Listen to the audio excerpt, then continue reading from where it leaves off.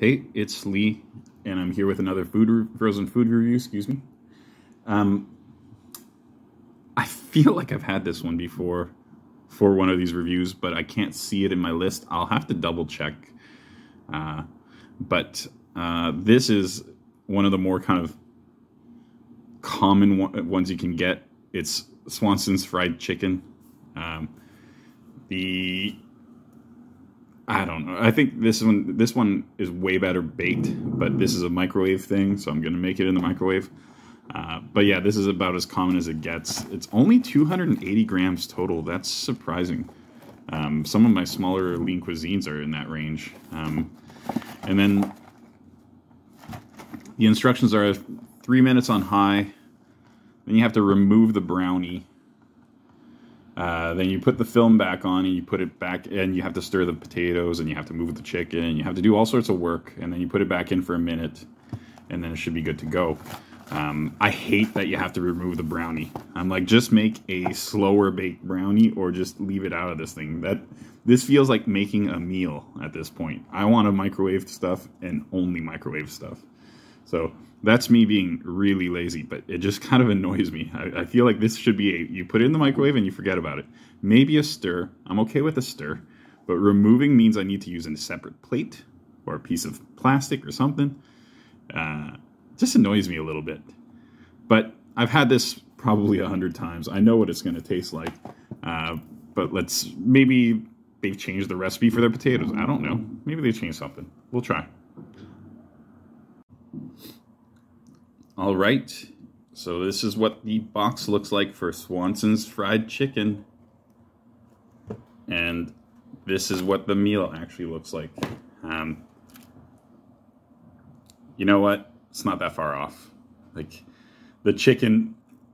excuse me, I'm choking on the food again. I really need to, like, take a glass of water before I start these things. But the chicken is a little less crispy looking because it's a lot less crispy. But the mashed potatoes, they look like mashed potatoes. The corn looks like corn, and the brownie, other than the fact that I had to mangle it to get it out of that little container thing, it looks like the brownie. Well, it doesn't look like the brownie on the box, but it looks okay.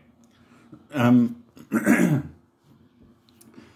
corn in these types of dinners is the best.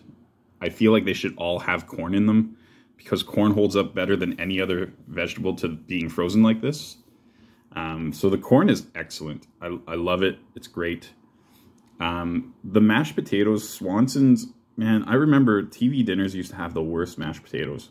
Um, but nowadays, Swanson's kind of nailed it. They nailed it about 15 years ago, to be honest with you. But the potatoes are totally okay as long as you microwave it long enough. If you ever under microwave any frozen mashed potatoes, they become so gross. So just make sure you put it in there for long enough. They're okay. Um, both the corn and the potatoes can use a ton of butter and salt. Uh, and I, I will probably add some after this review. Because um, the whole thing is pretty un under seasoned.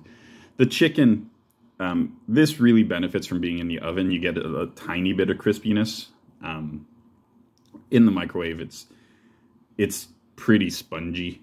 Um, it's fine though, like from a flavor standpoint, it tastes good. I don't have any problems with it.